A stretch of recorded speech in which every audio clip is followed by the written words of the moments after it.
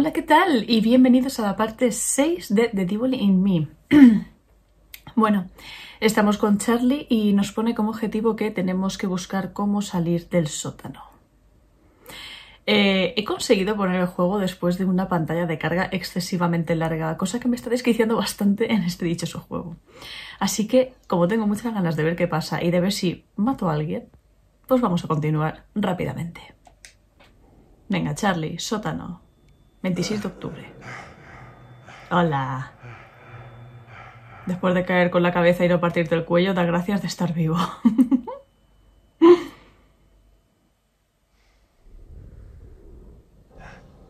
Uy, este, digo, va a ser plano de un pie que se pone ahí.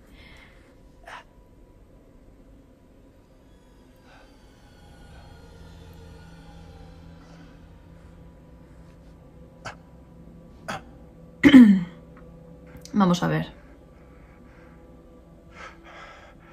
Tengo que salir de aquí. ¿Sí? No me digas.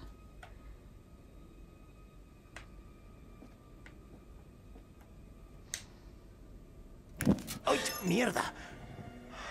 Qué conveniente.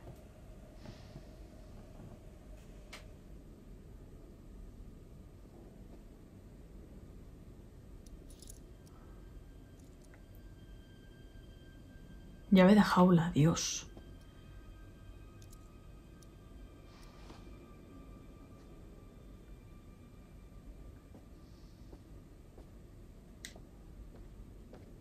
¡Jamie! ¿Hola? ¡Jamie! ¿Estoy bien?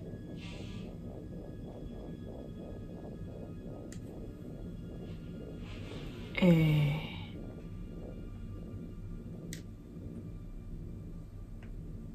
Eh, La verdad, podrías intentar subir.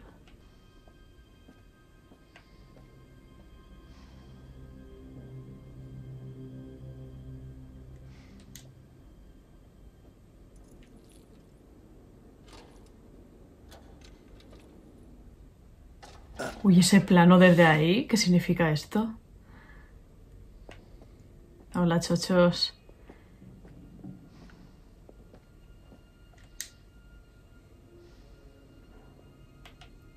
A ver. Asesino de Chicago, víctima 1. Causa de la muerte, heridas abdominales. Se arrancó la oreja de la víctima con un objeto muy afilado. Posiblemente un bisturí. Hostia.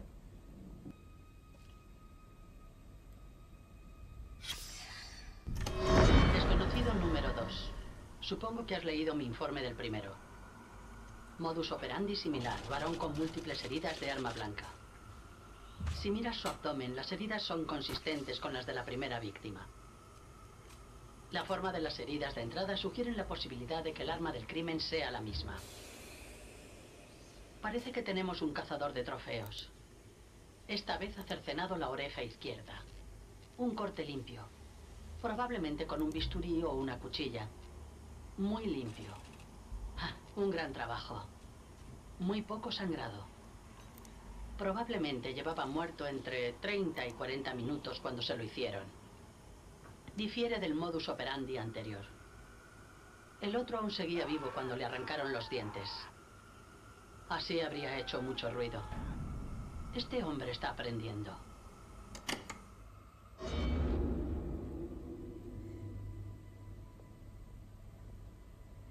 Bueno, pues bien, ¿no? Yo que sé, hay que tener aficiones. Yo no juzgo. Cada uno, yo que sé, en su tiempo libre.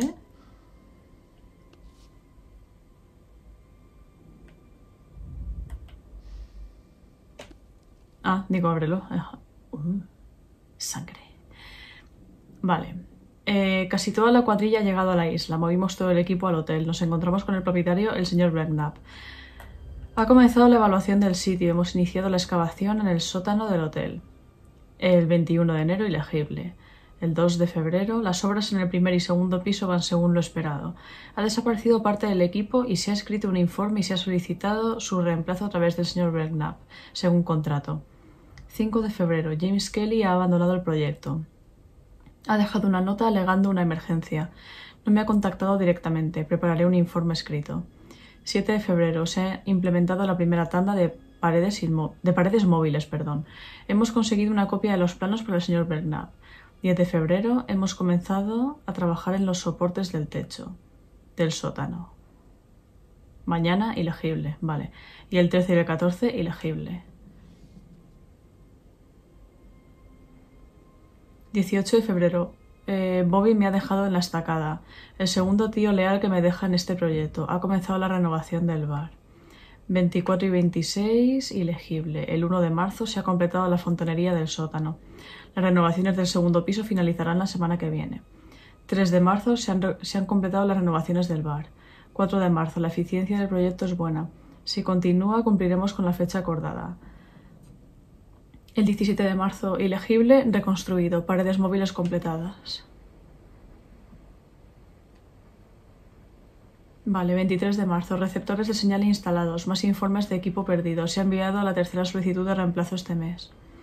25 de marzo, proyecto completado en la fecha acordada. El propietario solicita trabajo adicional en el área spa bajo el hotel. Solo queda un pequeño equipo en la isla, así que realizaremos la valoración de coste inicial mientras esperamos noticias de Kelly. 26 de marzo. Noticias de Kelly recibidas. El equipo que queda, Laura, Mónica, Ryan, Frank y yo continuaremos trabajando en el spa hasta que vuelvan el resto. 27 de marzo. Ryan ha dejado una nota diciendo que su madre está mala. Estoy seguro de que su madre murió hace años. Veremos si el señor Belknap me permite contactar con él. Joder, cuántas entradas, ¿no? Ah, vale, aquí ya acaba, parece. 29 de marzo. Laura ha terminado de instalar el sistema Tanoi con el señor Belknap. Dijo que no se encontraba bien y le ofreció una de sus habitaciones para descansar. No he recibido noticias de Kelly sobre dónde se encuentra el resto de la cuadrilla. 30 de marzo. ¿Qué está pasando? Laura no ha, salido de su cuarto y Mónica acaba de irse. No puedo contactar con Kelly. Mañana volveré al continente con Frank y Laura. Este trabajo es ridículo. Vale, lo que quiero es volver un momento atrás.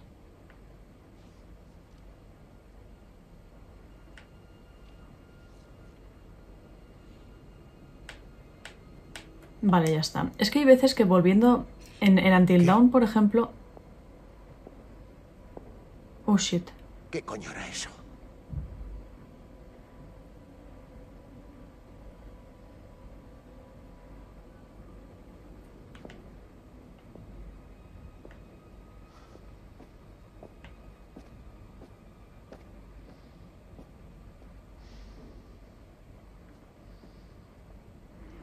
Pues eso, yo recuerdo que en Until Dawn con el diario eh, podías volver atrás y eso te daba una pista.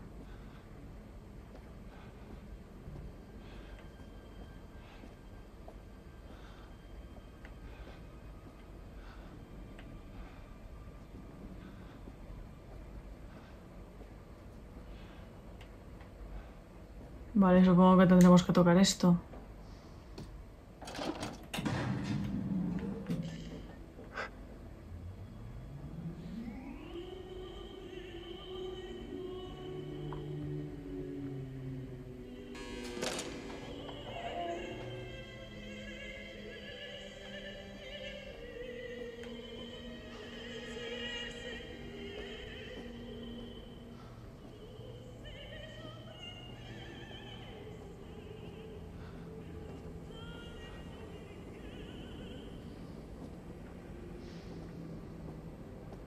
Vale, un momentito. Ahora toco ahí, ¿vale?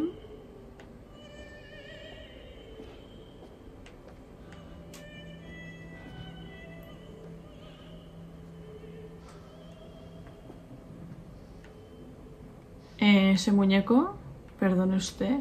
Joder. Puta vida, tete. A ver, voy a, voy a tocar esto.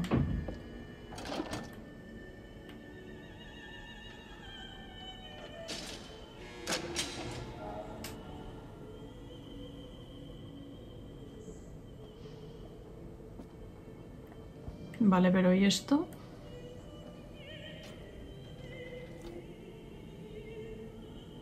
Tú también has caído, ¿eh? Si consigo salir, mandaré a alguien a por ti.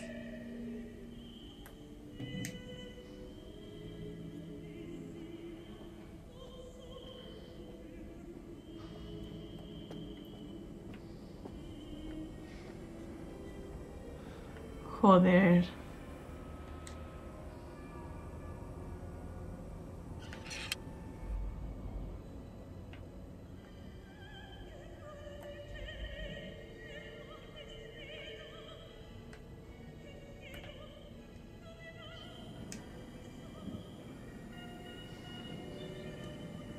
Me voy a pegar un susto importante, ¿verdad?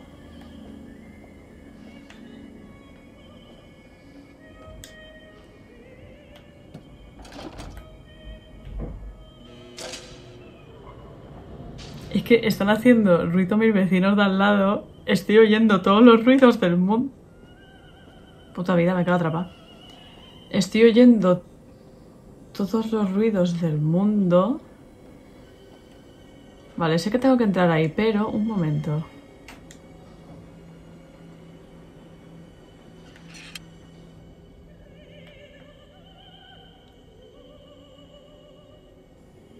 Vale.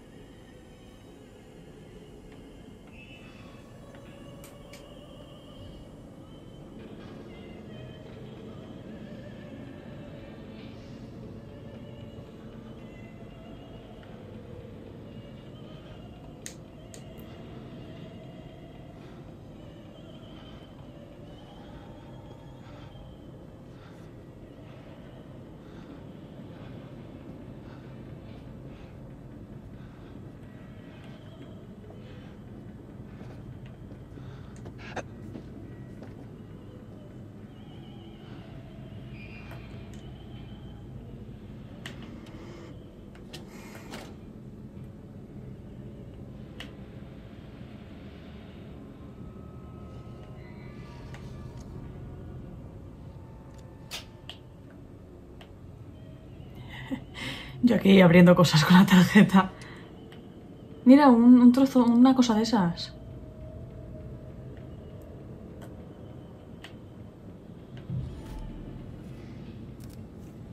Trece. Ahora, eh, al final del vídeo, si, si me acuerdo, mm, os pongo para qué son esas cosas, ¿vale? Que el otro día mi pareja jugando lo averiguó.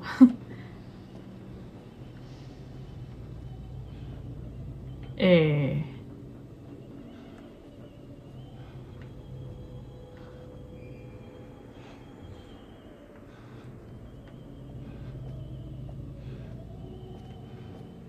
Por aquí no hay nada.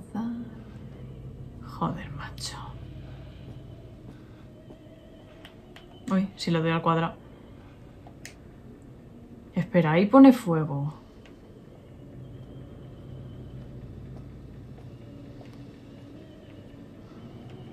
Es que a lo mejor no debería...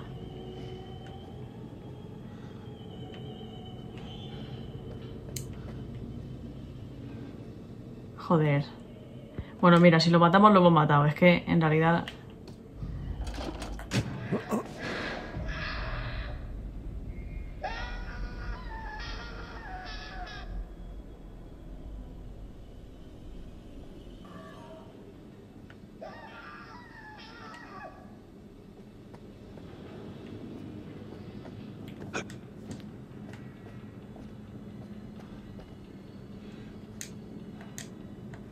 pasar, hijo, ¿vale?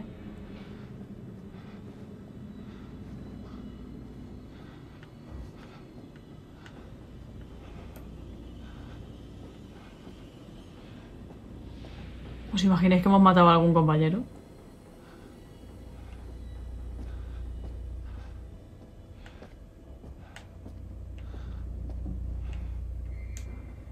Uh.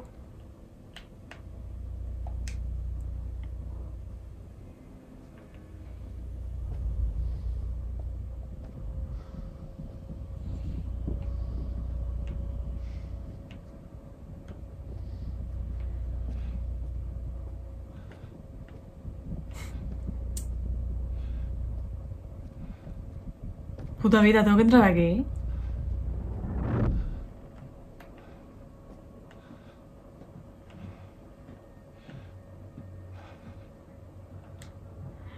No, tío.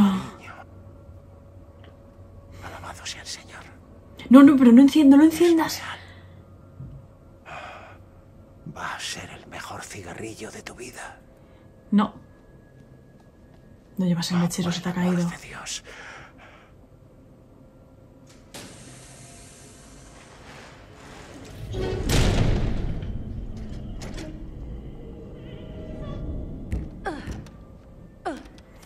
Uh, qué mal hecho está pues, esa puerta.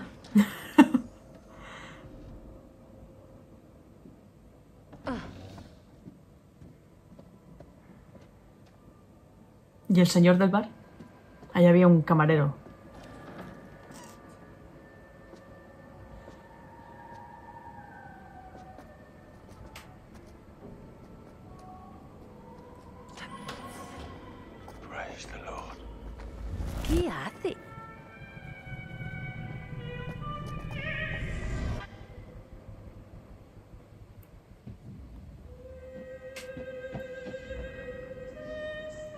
Una incineradora fijo.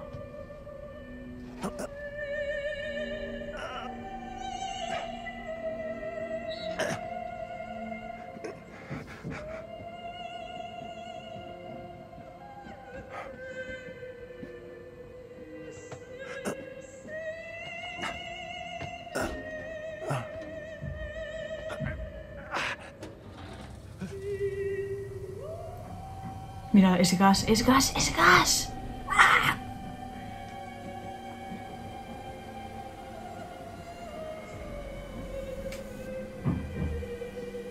¡Eh! ¡Eh, hola! ¡Estoy aquí!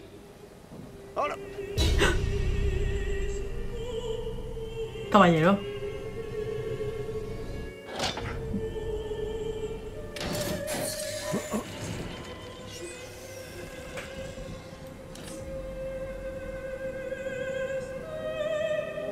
¿Morir quemado o morir ahogado? No. ¿Qué haces? No. Por favor. No. ¡Basta! ¡Por favor! ¡Basta! ¡Por favor!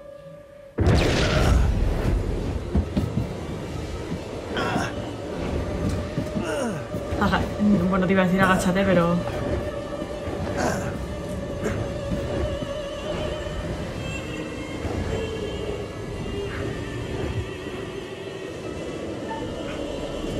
Levantar rejilla.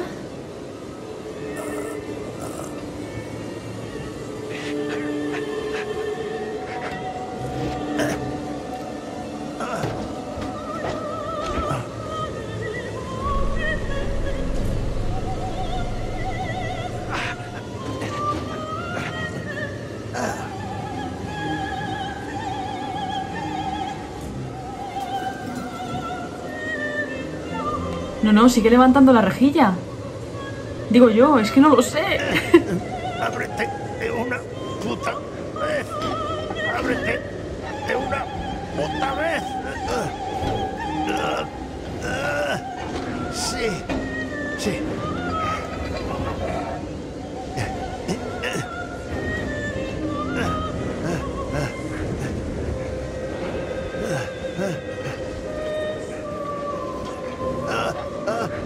Pasa es que no sé.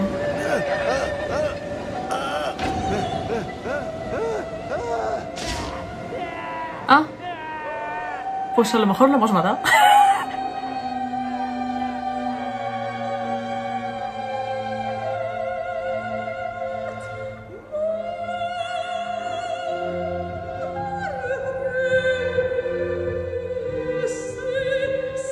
Ups.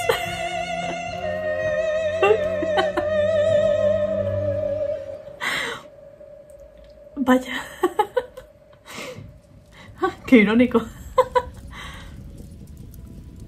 Las cosas se caldean para los amigos. Parece que Charlie ha salido escaldado. Puede ser difícil trabajar con quien has tenido una relación, pero creo que Mark y Kate lo están consiguiendo y aprendiendo muchas cosas el uno del otro. ¿Y qué opinas de los bonitos animatrónicos del señor Dumet? Me parecen ingeniosos. Algunos son muy realistas. Me pregunto de dónde traerá las piezas. Llegados a este punto, sería justo ofrecer una pista para poder equilibrar. Sí, claro. ¿Qué opinas? Sí, sí, tú dame la pista. Sí, total. Busquemos algo de inspiración en las obras de Sir Arthur Conan Doyle. Nuestro amigo Herman Magget estaba tan enamorado de Sherlock Holmes que tomó prestado su apellido.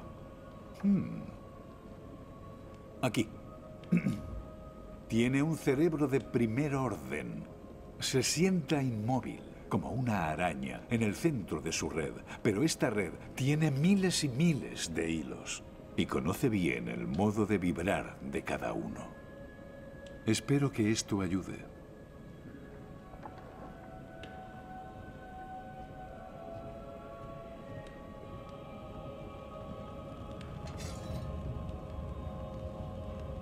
Mejor que vuelvas a ello.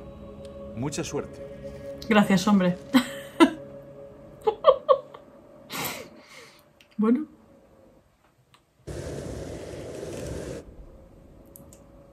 Pues me lo he cargado un poco. es posible que me lo haya cargado un poco.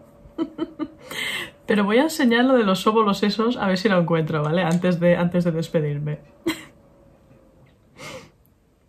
Es que soy un poco mala gente. Pero mira que se joda, que los putos cigarros el por culo que dio. La rabieta de niño chico que cogió. ¡Ah! Pamplinas. Hombre. Uy, tú qué muerte más mala, eh. Qué muerte más mala, qué lamentable. Bueno, pues esto está en contenido extra. Vale. Ah, mira, esto, esto lo puedo ver, pero bueno, no lo voy a ver. En dioramas. Vale, pues en dioramas yo puedo comprar con los que tengo cositas. Esto a lo mejor son dioramas descubierto en acantilado. Ah, en el laberinto. En fin. Oh, luna de miel. Intimidad. Entonces, yo qué sé, por ejemplo, voy a comprar este de luna de miel. Sí, y ya lo tengo. ¡Oh, qué bonito! El señor y la señora Whitman. Qué bonito, qué bonito. Y ya está, básicamente era eso. Yo pensaba que nos daría pistas o algo así, pero resulta que no. Así que, pues nada, ¿qué le vamos a hacer? Así que me voy a despedir y ahora grabaré seguramente la parte 7. Y, y bueno, pues nada, mm, no la voy a grabar con Charlie por lo visto porque ha quedado un poco... Ha quedado un poco quemado de la situación.